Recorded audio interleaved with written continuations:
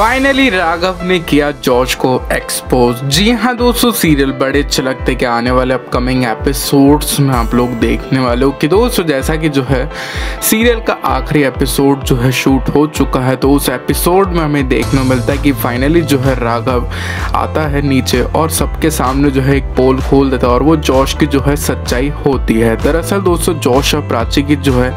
शादी बस होने ही वाली होती है, लेकिन वहाँ पे जो है ड्रामा हो जाता है राघव के आते ही और पहली बार जो है हमें देखने को मिलता है कि अवनी जो है अपने बेटे पे गुस्सा होती है और उसे खींच के थप्पड़ मारती है और बोलते हैं कि ये मेरे संस्कार है, जिस वजह से आज तू यहाँ पे खड़ा है। तो दोस्तों, अभी के लिए बस ना वीडियो पसंद वीडियो को लाइक ज़रूर कीजिएगा एंड थैंक्स वॉचिंग